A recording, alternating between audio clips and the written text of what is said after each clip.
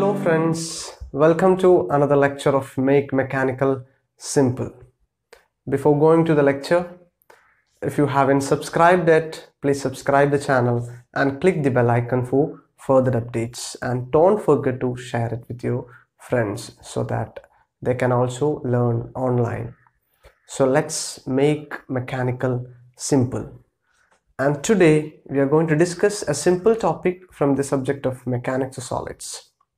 That is, we are going to discuss the deformation of a uniformly tapering circular bar under a load P.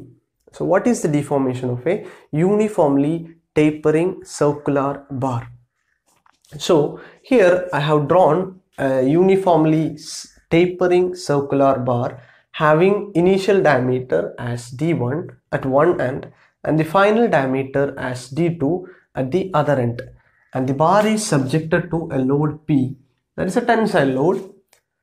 Okay that is a problem. And here we have to find the deformation of this bar due to this loading. So what is the usual deformation equation? We have a usual deformation equation delta L is equal to PL by A, right? Delta L is equal to PL by AE. Can we apply this equation directly here? Here P is same, the load acting is P, length is same, Young's modulus of the material, E is also same. But what about the area? See, the area when we move from the left end to the right end, the area is keep on varying right that means area is in this case uh, area is keep on decreasing as we move from the left end to the right end. Right? That means here we can say area is not a constant area is a variable. If any of the quantity in a particular equation is a variable in such a case what we have to do is we have to consider a differential element a differential element and then we have to find the deformation of that differential element then we can extend that concept to the total area or the total length. Okay? So here what i'm going to do is i'm going to consider a differential element a differential element having thickness dx or having length dx at a distance x from the left end. At a distance x from the left end. Okay so here we can say area is a function of x. That means area keep on varying with respect to x. Okay. So what you're going to do is we are going to apply the deformation equation pl by ae for the differential element. And we are going to find the deformation of the differential element. So what is the deformation of the differential element? Deformation of the differential element delta L is equal to P is same. If the load acting is here is P, the load acting on the differential element also will be equal to P. Now, what is the length of the differential element? Here you have to take care. The length of the differential element is only dx. Okay. So, length of the differential element is only dx. And what about the area of the differential element? Okay so area let it be there. What what is Young's modulus is saying? So we have to find the area of the differential element. That means the cross-sectional area at this section. So let's see how to find the cross-sectional area at this section. So to find the area at this cross-section we have to find the diameter of this cross-section. If you know the diameter d at this cross-section we can find the area as pi by 4 d square. So our first step in this derivation is to find the diameter of the differential element. So how can we write the diameter at the differential element from the geometry of this figure?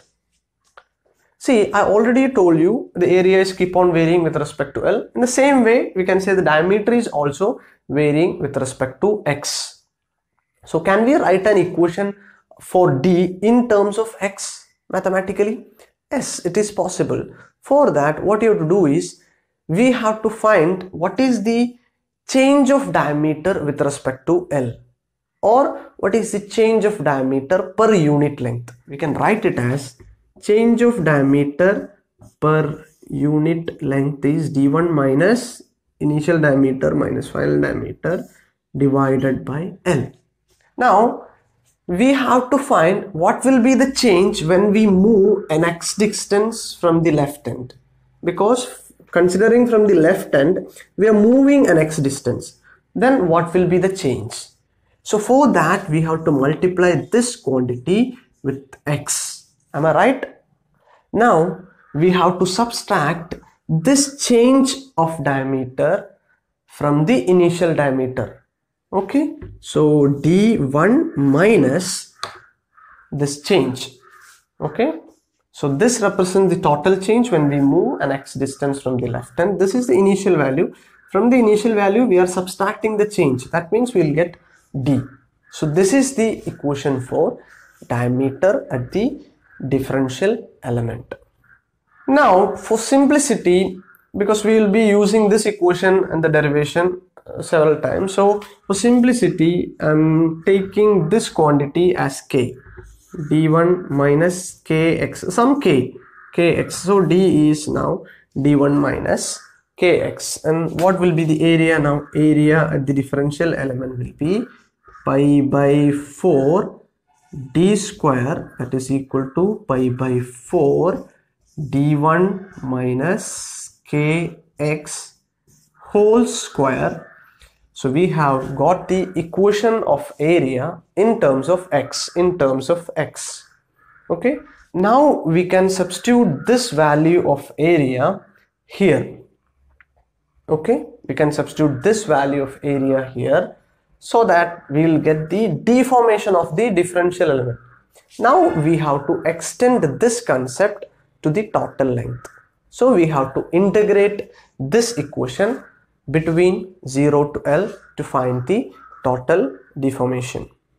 Here I have substituted the value of area here. Now we have to integrate this equation to find the total deformation. So total deformation is equal to, I'm taking the constants outside that is P by pi by 4 E these are all constant integral between 0 to L and inside integral we have dx by d1 minus kx whole square. Now this is in the form of 1 by x square right? What is the integral of 1 by x square? We all know that it is nothing but minus 1 by x. So performing the integration what you'll get? P by 4 pi by 4 e e is constant and performing the integration you get minus 1 by x that is d1 minus kx and don't forget to divide with the coefficient of x. Here the coefficient of x is minus k. So we have to multiply in the denominator with a minus k. So this minus minus gets cancelled. Now for this term we have to apply the limit between 0 to L.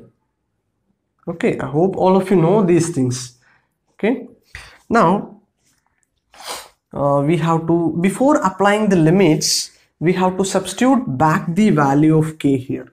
Then only we can apply the limit. Okay, so I'm substituting back the value of k pi by 4. These are the constant what is the value of k we know that it is uh, d1 minus d2 divided by l. Let it be there. And inside bracket we have 1 divided by d1 minus d1 minus d2 divided by l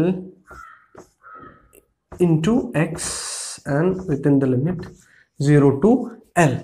Now we have to apply the limits so applying the limits what I'll get is uh, applying the limits p by pi by 4 e we have to repeatedly write these terms again and again okay?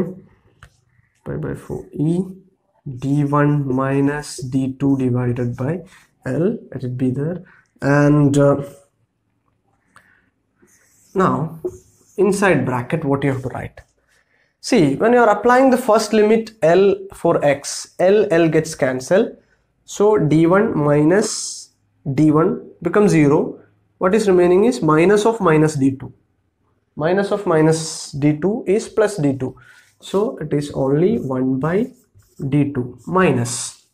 Now when you are applying the second limit 0 here this entire term becomes 0 right? So what is remaining is only 1 by d1 now we have to simplify this bracket term. So simplifying that bracket term what you'll get?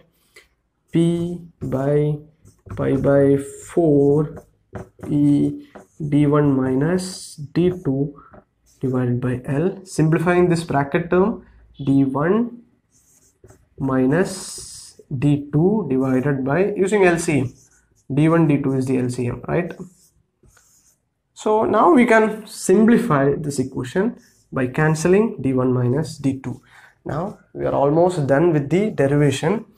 Only we have to rearrange the equation. That means we have to write this L in the numerator.